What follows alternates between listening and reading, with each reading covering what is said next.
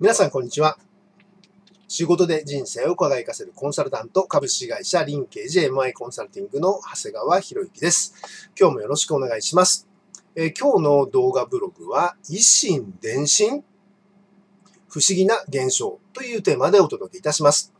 えー、昨日ですね、えー、富山県に出張に行っていました。え富山県のですね、小矢部市ですね。えもう高速で30分も行くと金沢に行くというね。まあどちらかというと富山なんですけども、えー、金沢より、石川県よりの富山県ですね。えー、そちらのですね、富山県繊維協会というところのね、お仕事を今させていただいているので、まあそのお仕事のために行ったんです。で、帰りに、午前中で仕事が終わりましたので、帰りに、え新潟県の上越市ですね。そこで、え一社、えクライアントさんがいますので、コンサルをやって、それで新潟市に帰ってきたということなんです。うん、ですがね、ここで不思議な現象が起こりました。えまるでですね、私の行動を観察してね、いるかのような、え現象なんですけども、まずは、え富山県を出発しまして、新潟県に入りました。えそしてえ、パーキングで、うんと、トイレ休憩を取ってるとですね、一本電話がかかってきました。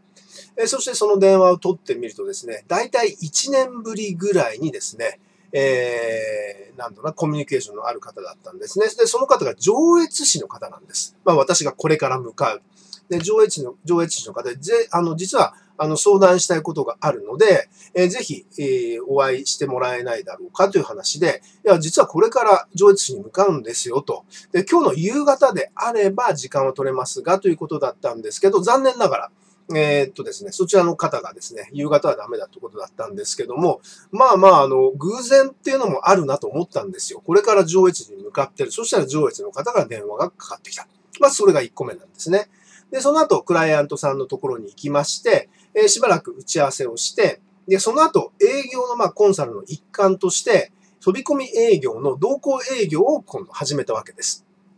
で、そうしてるうちにですね、また電話がかかってきたんですね。そしたら、上越市のですね、うん、まだお客さんではありませんけども、見込み客のね、えー、社長さんから電話だったんですね。来週、ちょうどその方とお約束をしてたんですけども、ちょっとあの、スケジュール的に厳しくなったんで、えー、ちょっと移動日にちを移動してくれという案内容だったんですけども、これもですね、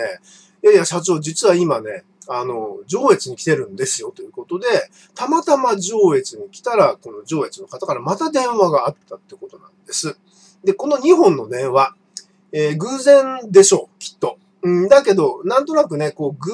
然とはいえ、なんかここに、うん、目には見えないけど何か力が働いてるんではないかな、とね、そんなことを感じてしまう。そして想像してしまうのが私たち人間のですね、えー、なんか面白いとこなのかななんて思ったりもします。まあよくですね、昔、こう、シンクロナイズとかね、まあ、共鳴するとか、あとは引き寄せの法則とか、いろんなことはこう言われてますけども、まあそんなことも、科学的に証明はできないんですが、まあ、こんなにね、広い世界、そして目に見えない世界もあるってことを考えると、十分そういうことも考えられるんではないかなと。逆にそうやって考えていった方が世の中楽しいんじゃないかなと思うわけです。まあ、そんなことで今日はま、維新伝心というね、テーマ、そして不思議なことって起こるんだなというお話をさせていただきました。え、今日も最後までご覧いただきましてありがとうございました。仕事で人生を輝かせるコンサルタント株式会社リンケージ MI コンサルティングの長谷川博之でした。